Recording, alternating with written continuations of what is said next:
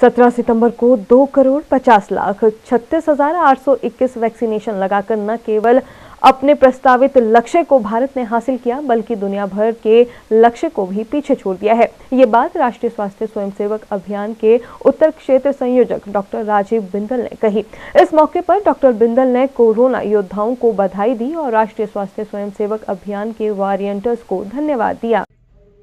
राष्ट्रीय स्वास्थ्य स्वयंसेवक अभियान की शुरुआत 27 जुलाई को भारतीय जनता पार्टी के राष्ट्रीय अध्यक्ष श्री जगत प्रकाश नड्डा जी ने दिल्ली में की थी। उन्होंने लक्ष्य दिया था कि हमें दो लाख गाँव के चार लाख हेल्थ वॉलेंटियर बनाने हैं। पर मुझे बधाई देनी है अपनी टीम को, जिन्होंने पूरे देश के अंदर 50 दिन के छोटे से समय के अंदर आठ लाख दस हज़ार से अधिक हेल्थ वॉलेंटियर बनाए। पिछले सप्ताह राष्ट्रीय अध्यक्ष जी ने माननीय नरेंद्र भाई मोदी जी के जन्मदिन के ऊपर दो करोड़ वैक्सीन लगाने का टारगेट हेल्थ वॉलेंटियर मिशन को दिया।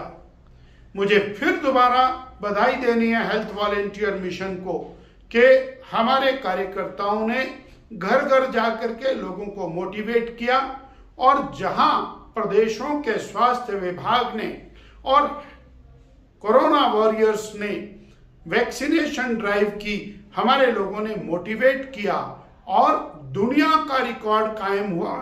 17 सितंबर को दो करोड़ पचास लाख से अधिक लोगों का टीकाकरण अभियान पूर्ण किया।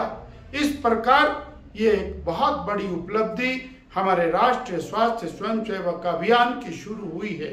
आने वाले समय में यह हेल्थ वॉलेंटियर मिशन गांव-गांव के अंदर एक हेल्थ के मामले में सेवा का अभियान बन करके खड़ा होगा, ऐसा हमारा विश्वास। Bureau report city channel, Shimla.